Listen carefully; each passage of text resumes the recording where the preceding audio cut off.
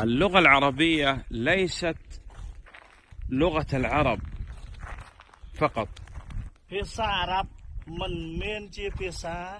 របស់ជនជាតិអារ៉ាប់តែប៉ុណ្ណោះទេ اللغة العربية هي لغة كل مسلم ភាសាអារ៉ាប់គឺជាភាសាសម្រាប់អ្នកអ៊ីស្លាមទាំងឡាយ المسلم الآن يصلي មូស្លីមអ្នកអ៊ីស្លាមទាំងអស់តើសំដែងយ៉ាងឬទេ ماذا يقول عندما يفتتح الصلاة يقول الله أكبر